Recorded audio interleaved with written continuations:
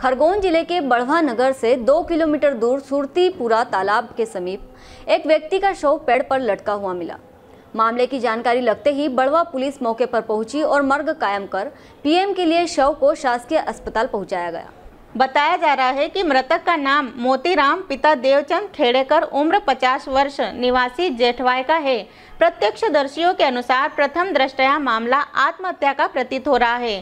फ़िलहाल पुलिस जाँच कर रही है मृतक के परिजन और पुलिस के अनुसार घटना का कोई कारण अभी तक स्पष्ट नहीं हुआ।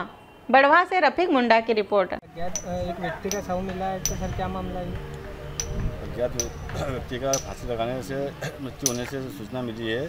उसकी जाँच पर पंचनामा बनाया गया है और पोस्टमार्टम के लिए उसको सिविल हॉस्पिटल में लाए हैं। सर उस उस अज्ञात व्यक्ति के कुछ वो क्या नाम था सर उसका? उसका मोतीराम पिता देवचंद निवासी ग्राम जेठवाय का। बीते दिनों उत्तर प्रदेश के सोनभद्र गाँव में 10 आदिवासी दलित किसानों की दिन दहाड़े गोली मारकर हत्या कर दी गई। इस घटना को लेकर खरगोन ज़िले के बड़वा में सामाजिक कार्यकर्ताओं ने रैली निकालकर तहसीलदार ब्रजेश बामनिया को ज्ञापन सौंपा। बड़वा से रफीक मुंडा की रिपोर्ट। खरगोन ज़िले के